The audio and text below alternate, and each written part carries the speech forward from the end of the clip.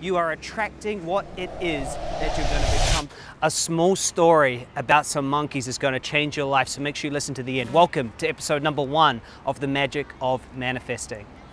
These monkeys were in a cage. A group of scientists watched them. They placed some food at the top of the cage. They put a ladder there and they let the monkeys climb the ladder. However, every single time they went to climb the ladder, they sprayed the monkeys with cold water, freezing them. They did this again and again and again until whenever a monkey decided that they wanted to try to climb and get the food, all the other monkeys would claw at them, hit them, pull them off the ladder and hold them down. They started replacing the monkeys. New monkeys came in that never were sprayed with the original water. And as they started to try to climb the ladder, the other monkeys would grab them, they would hit them, they would pull them down. Eventually, they replaced all the original monkeys, so there were no monkeys there that had ever been sprayed with the cold water. And guess what happened?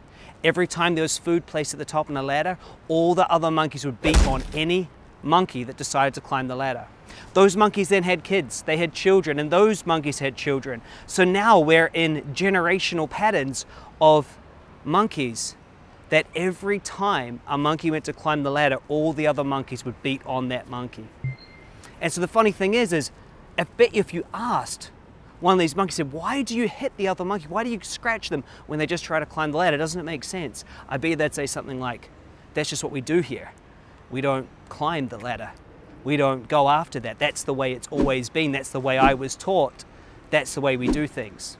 So my question to you is, where are you the monkey in your life? Where are you doing things without questioning them? Where are you just following blindly? Where is that happening to you? And when is it time to start asking some of these big questions and going, what is it that I actually want to do? See, so often, those of us that want to climb a big ladder, want to go and do big things, we're getting pulled down by other people. This series, the magic of manifesting, is for you, for the one that wants to climb to the top, that wants to understand the way to get there, because uh, guess what? It is different. It is just different than the way you've been trained. This was the magic of manifesting. Please like, subscribe, share, and leave a comment if this impacted you. Have an amazing day.